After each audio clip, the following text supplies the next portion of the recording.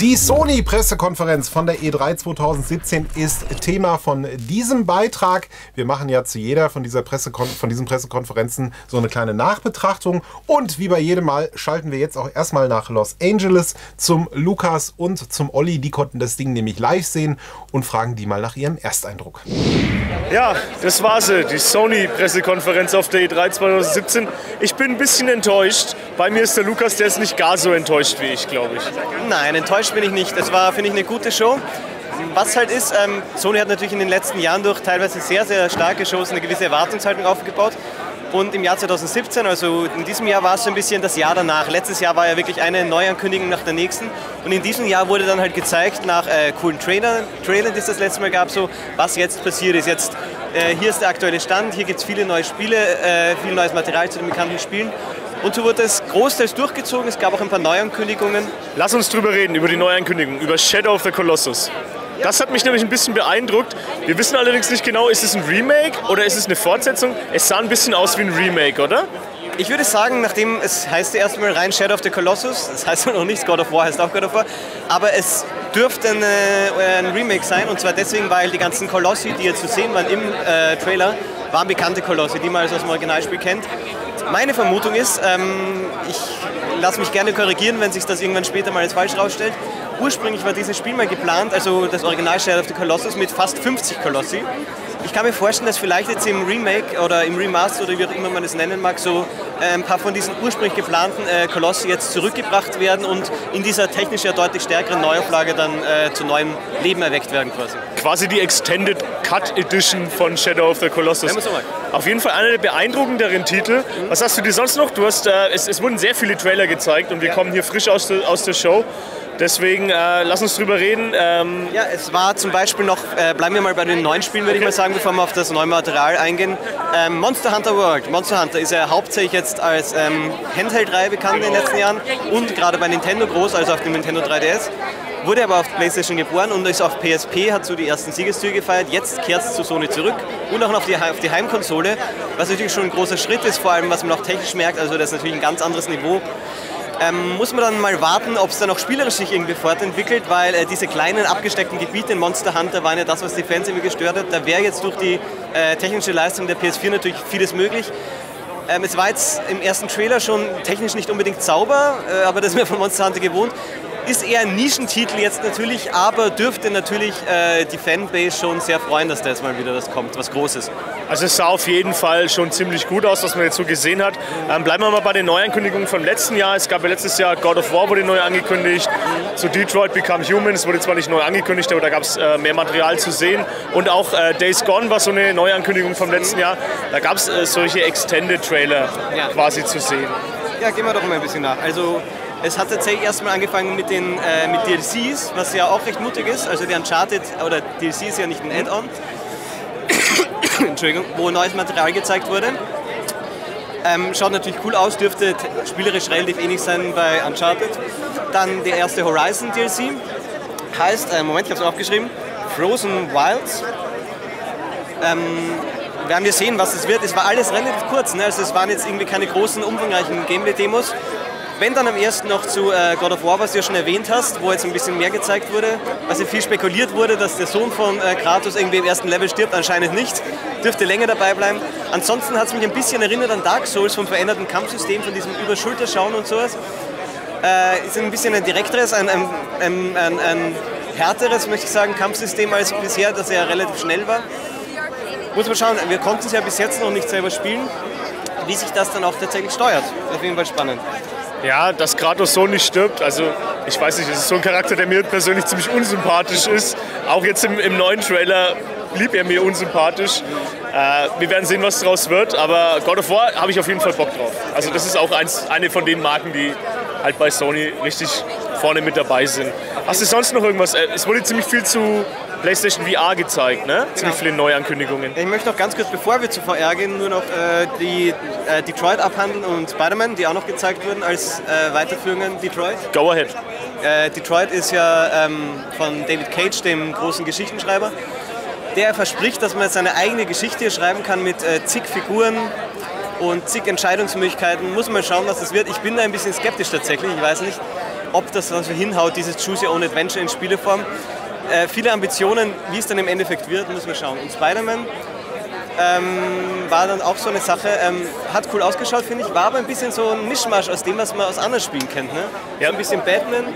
Wir saßen nebeneinander und haben gesagt, äh, Spider-Man, The Dark Knight Rises oder so. Ja. Es sieht halt ein bisschen so aus wie die Arkham-Spiele von Batman.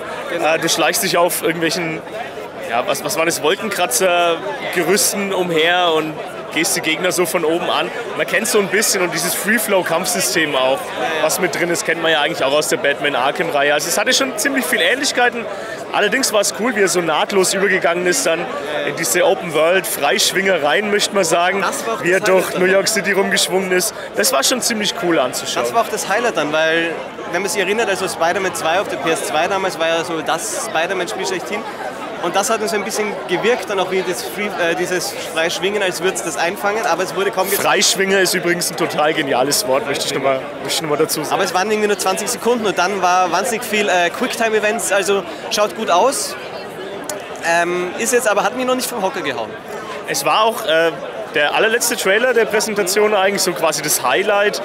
Es wurde extrem abgefeiert von den Fans, die da waren. Das muss man auch mal dazu sagen. Also die haben sich bei der Show allgemein ziemlich viel Mühe gegeben. Es war äh, ziemlich viel Kulissenbau mit dabei, was schon beeindruckend war zuzuschauen jetzt live.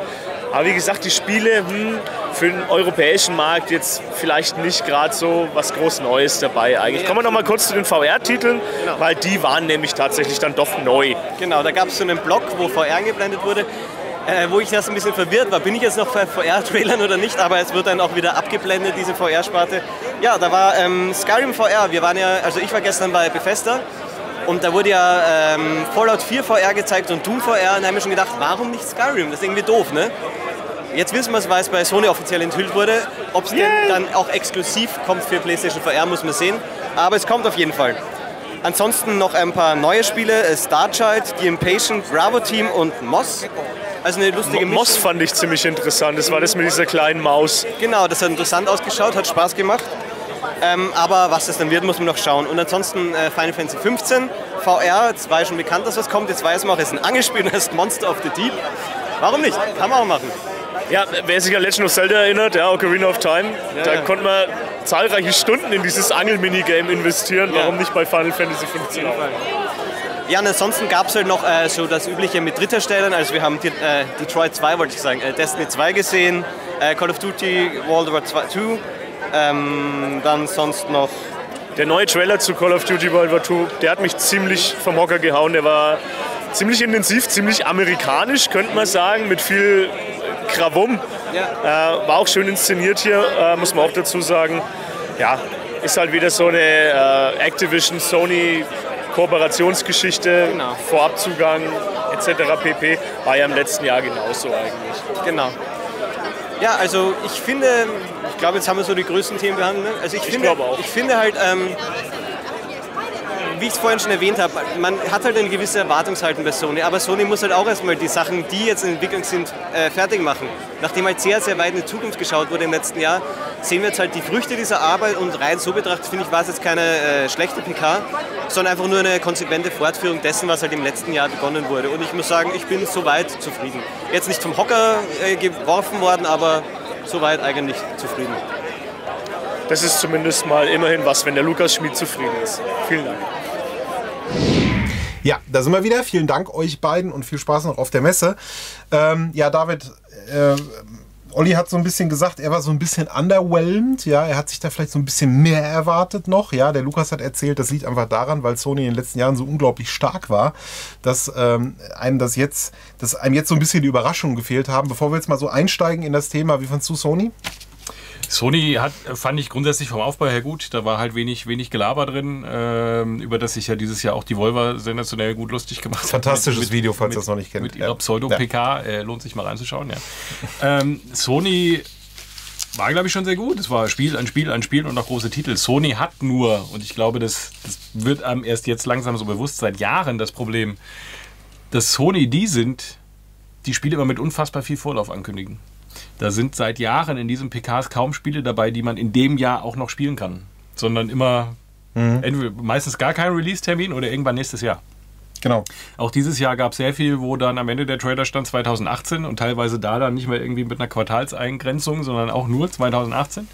Und das ist dann halt im Eindruck, glaube ich, danach einfach so, ja, und was kann ich davon jetzt spielen? Nix. Okay. Nix, Wohingegen ja. ich bei Microsoft und Ubisoft, da wird halt viel angekündigt, was man, wo man weiß, Was in okay, Griffweite ist, ne? bis es, bis es verschoben wird. Ja? Aber äh, bei der Ankündigung denkt man sich noch, ah cool, in einem halben Jahr kann ich das spielen. Ist ja gut. Ja. Bei Sony ist das immer so extreme Zukunftsmusik. Das, das drückt, glaube ich, so ein bisschen auf den Gesamteindruck immer. Gut.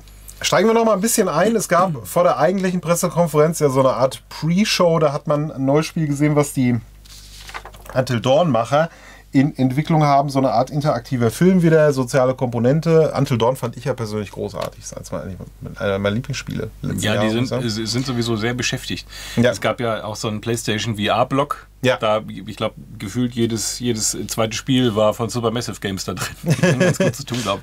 Äh, dieses Hidden Agenda, da kann man kurz drauf eingehen. Sony hat angekündigt, dass demnächst ein Playlink heißt es, äh, Feature Live geht.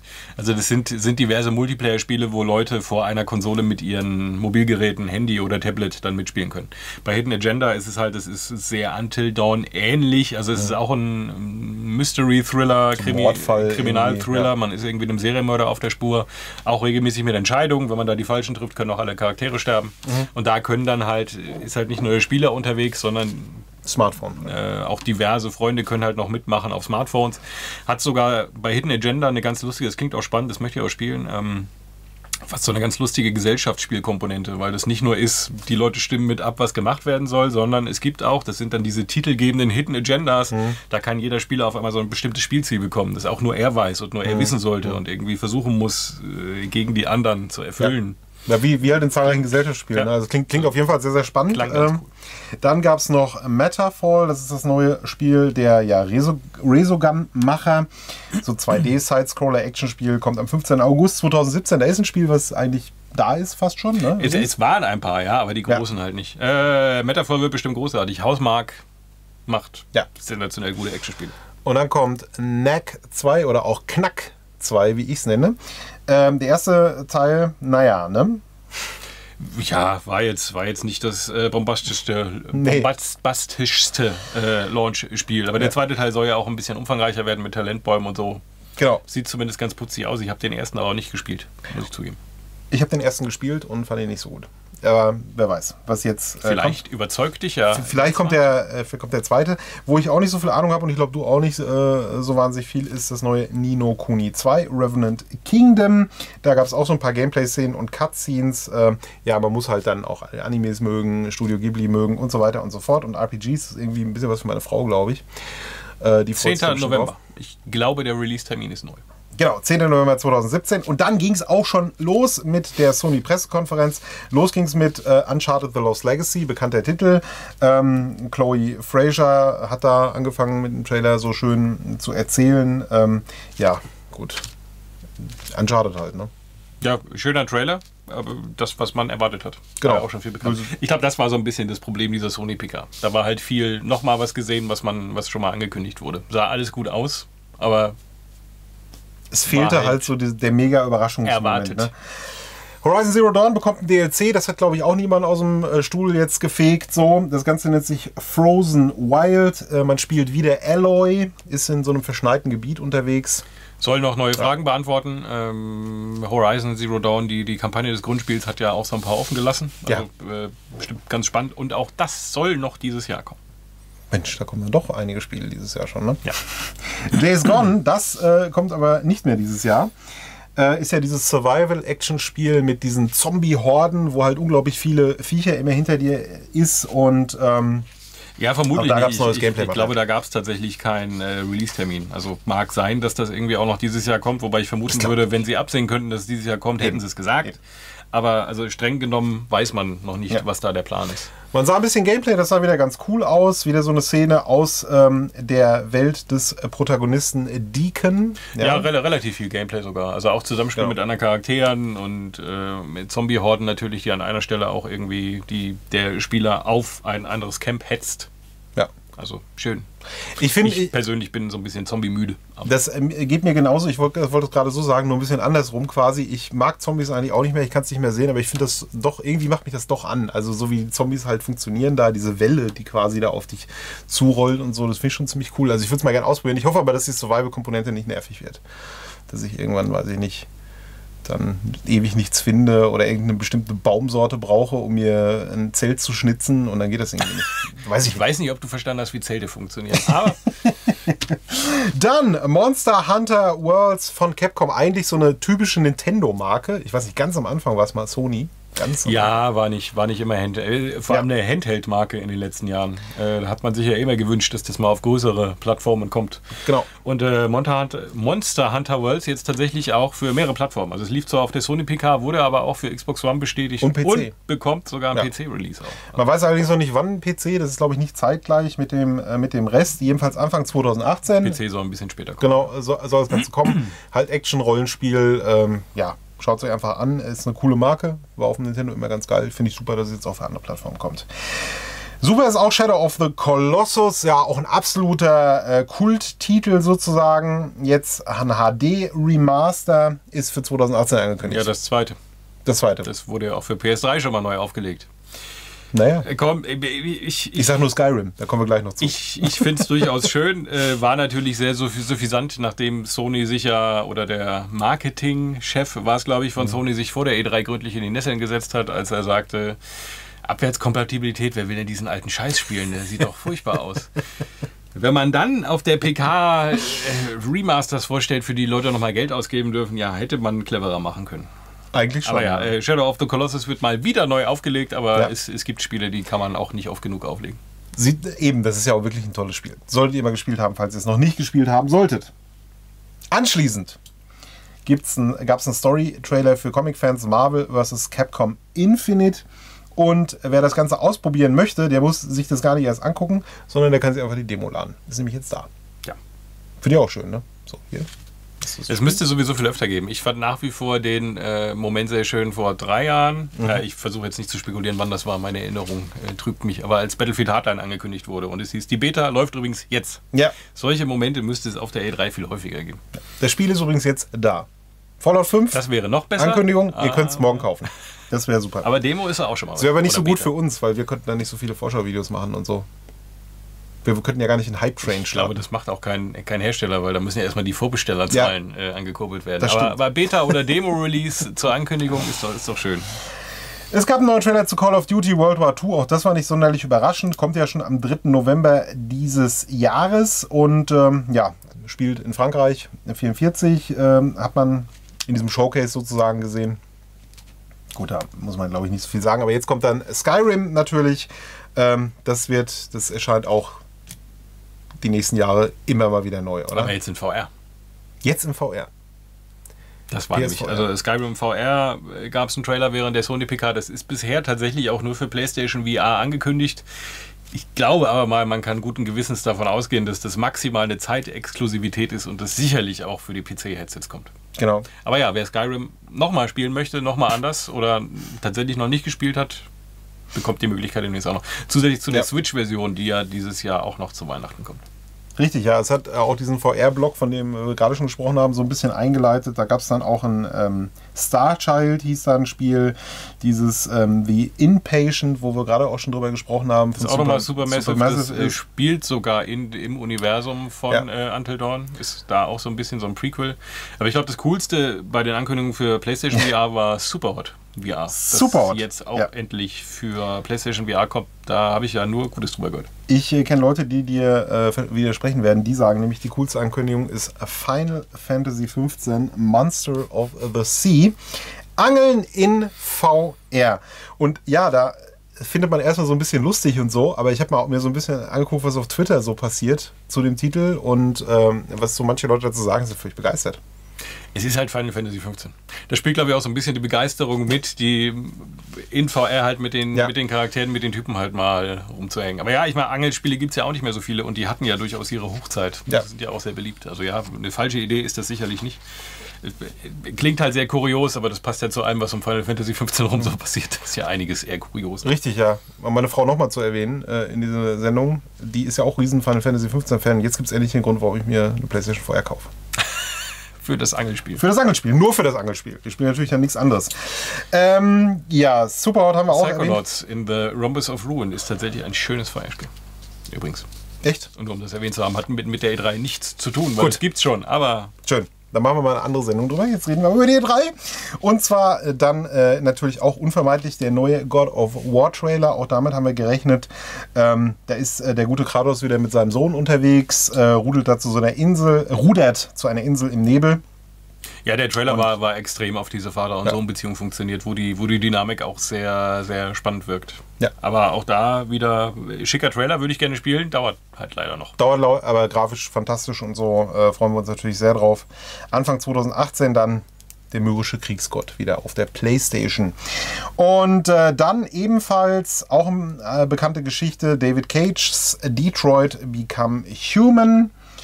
Das ist auch schon gefühlt seit zehn Jahren angekündigt, oder? Das ist auch schon ziemlich lange. Ja, es hieß ja eigentlich auch mal 2017 oder das Ja. ist, glaube ich, immer noch der aktuelle offizielle Stand. Insofern war ja die Vermutung, bei der E3 gibt es bestimmt den Release-Termin.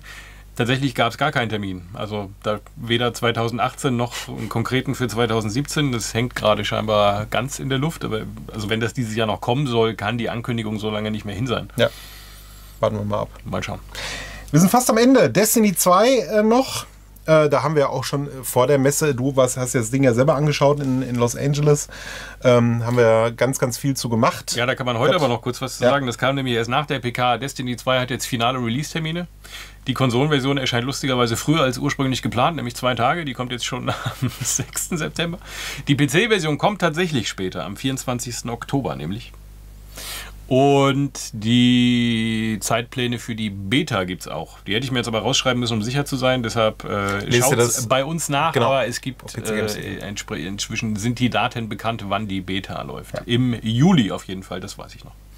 Riesentitel, auf jeden Fall.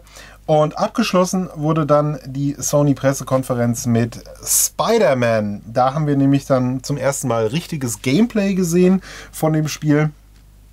Und äh, der Christian Dörrer, der das äh, ja betreut hat, Ausgeflippt. der ist völlig ausgerastet. Obwohl er komplett müde war, ist er ausgeflippt. ja, echt? Hat er so wow, im Büro geschrien oder was? Ja, hat versucht, sofort an die Decke zu klettern. Es war kein schöner Anblick. Nein, hat er nicht versucht. Aber der war, der war sehr angetan, ja. Ich, ja, mich, mich hat es nicht ganz so vom Hocker gehauen tatsächlich. Also es sieht grandios aus. Ich bin mir aber noch nicht sicher, ob das, ob das Gameplay so lange hält.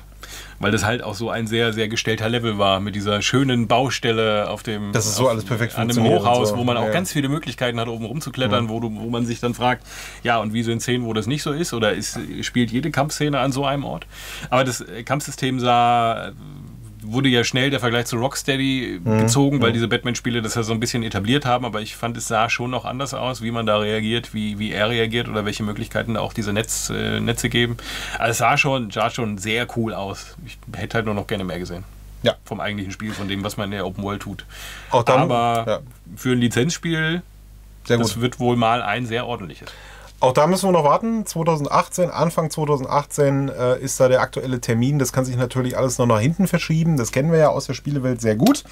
Und äh, ja, damit sind wir durch, durch die Sony-Pressekonferenz. Wir haben ja schon am Anfang ein bisschen gesagt, was wir so davon halten. Jetzt die mega Überraschung gab es irgendwie nicht. Insgesamt eine sehr solide Show auf jeden Fall. Da war jetzt kein Ausfall dabei. Ich fand die sehr gut, Und, weil ja. gerade weil halt so dieses Marketinggewäsch fehlte. Das fing ja an mit erstmal einer Riesenreihe an Trailern, dann kam der Sean Layden einmal kurz Ja. auf die Bühne, hat auch jetzt nicht besonders viel gesagt. Dann kam noch mal ein Schwall an Trailer, dann kam er noch mal kurz und dann äh, danach war glaube ich auch Ja. noch Spider-Man und dann war es vorbei. Also ein sehr sehr rundes Programm. Wie gesagt, die, die Release-Termine sind halt so ein bisschen Sonys Problem. Ich, Hm. Ein paar mehr größere Titel vielleicht erst nicht schon zwei Jahre im Voraus ankündigen, würde ihnen vielleicht etwas gut tun. Ja, möglicherweise. Aber trotzdem eine, eine gute Show, ein schönes Line-Up. Also nach wie vor, was Sony an Exklusivtiteln hat, ist halt sehr beeindruckend. Also da hat man schon, wenn man, wenn man die Spiele-Genres muss man natürlich mögen, aber es gibt, glaube ich, gute Gründe tatsächlich zu sagen, okay, jetzt brauche ich halt eine Playstation, wenn ich das spielen will. Das ist mal ein schönes Abschlusswort. Äh, die ganzen Trailer könnt ihr euch natürlich anschauen bei uns auf der Webseite, im YouTube-Kanal oder auch bei Games TV 24. Wir haben auch zu den anderen Pressekonferenzen eine Videorückblicke gemacht. Wir haben diverse Anspielfazits. Da kommt noch so viel aus Los Angeles, dass ihr jetzt am besten hier abschaltet und anderswo weiter guckt, äh, anderes Video bei uns sucht. Und vielen Dank fürs Zusehen. Und David, vielen Dank für die Einschätzung und bis demnächst.